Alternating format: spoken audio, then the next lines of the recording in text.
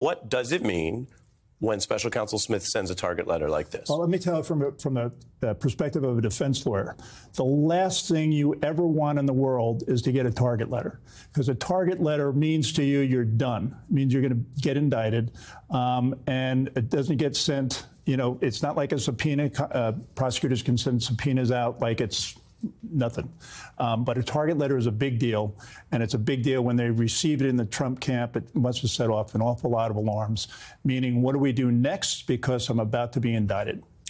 And from a prosecutorial perspective, you mentioned uh, both sides, but is it a bigger deal to try to go at the conduct of a sitting president? I went through the distinctions here in the other cases. Well, never having gone after a sitting president, yeah. it's hard to say. It certainly is a historic moment um, because, you know, you, you, it, it, and it's a sad moment, right? And I think from mm-hmm. a prosecutor standpoint, it's a sad moment, too, that as a prosecutor, I have to do this. I have to make this type of history. It's a sad state of affairs, but it has to be done, and we're going to do it by dotting the I's and crossing the T's, and that's why we sent the, the, the target letter. And Kristy, uh, to the same point, you have to have good evidence if you're in those shoes, because again, part of the Mar-a-Lago case, and we'll get to they, they had a hearing today, is telling the defendant and the jury he's not president anymore.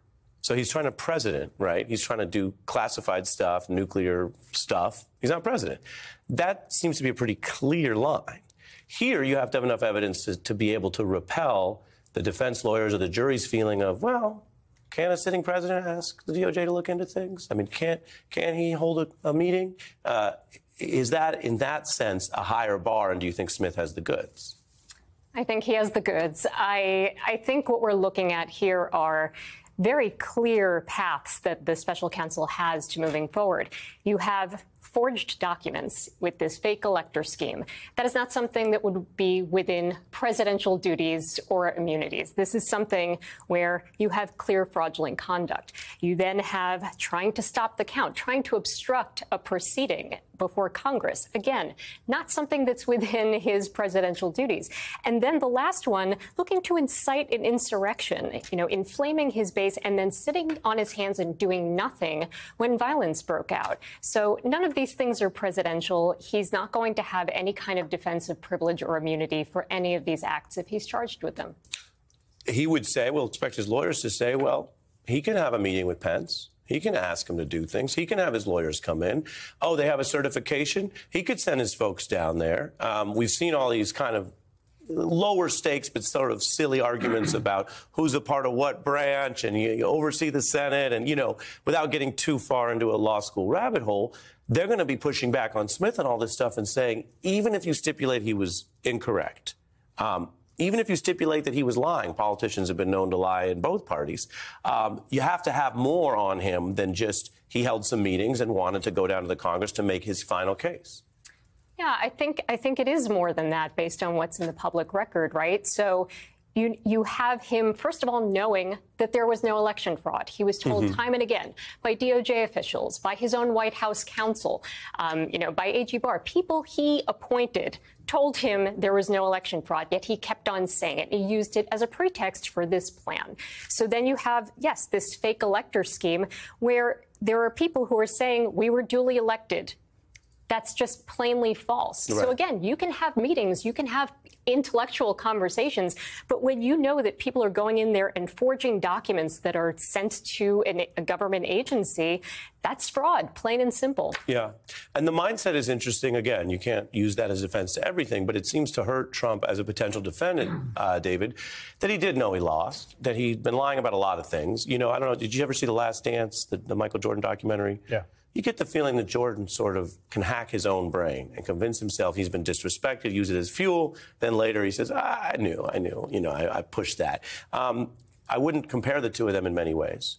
Uh, but as far as delusion, let me play you some of the evidence, David, where, according to his own aides at the time, Trump would lie in public and then show consciousness of guilt, mental state privately. Ah, I know I lost, as he said it regarding the now president, Biden. He said, oh, I can't believe I lost to this expletive guy. Take a look. So we're in the Oval. He says words to the effect of, "Yeah, we lost. We need to, we need to let that issue go to the next guy," meaning President Biden. And he was looking at the TV and he said, "Can you believe I lost to this effing guy?" And I said, "Like, does the president really think that he lost?" And he said, you know, a lot of times he'll tell me that he lost, but he wants to keep fighting it.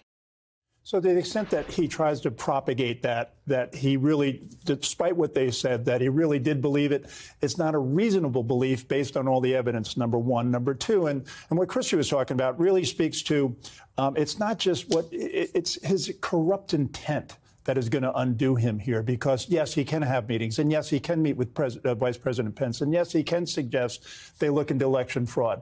But when he knew that he lost and what he's asking them to do, there's a corrupt intent behind it, and that intent was to disrupt the, the, the functioning of Congress to certify the election and to essentially incite an insurrection.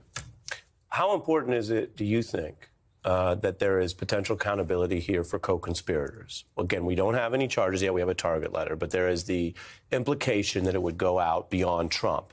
Um, and we're living through a time where he's running for office again. A lot of people have been asked to do things. Does it matter? Is it good for democracy if other people are held accountable? So even when they're in a big, powerful job, in the back of their mind, they're thinking it's not open season.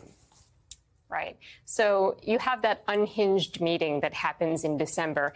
It reminds me of Succession, where you have Logan Roy telling his children, I love you, but you're not serious people. And he brought in, Trump brought in a bunch of people who are not serious people to replace the serious people who are telling him, you lost, you can't declare martial law. You can't do all of these kinds of crazy things that you're thinking to try to steal the election. So he brings in a bunch of other people who will tell him what he wants to hear and help him execute a fraudulent plan. And so some of those were lawyers. You know, we know John Eastman, uh, Rudy Giuliani, and you can't hide behind a law degree to help your client commit a fraud, right? That's clearly illegal. So, and you see so many of these lawyers have lost their law licenses or being suspended or disbarred in their states because of that. Is so, Sidney Powell then, is, is that Shiv or is that uh, Kendall? uh, it's your comparison. I'm going to go with Kendall. Okay. Kendall. Tortured, yes. Yeah. any, any of the above? I never watched the show.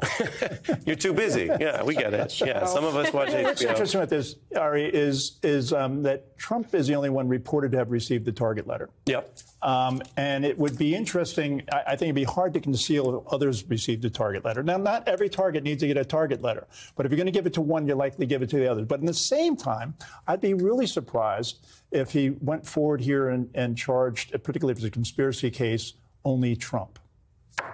So it's it, a lot remains to be seen. Yeah, wouldn't you see? I mean, again, we're, we're going to be responsible about this. We don't have the reporting, um, but but the indication would be that he'd have one or more other individuals, unless they're super cooperative, because um, you can have an unindicted co-conspirator. But would you look to Powell, Eastman, Giuliani, those types?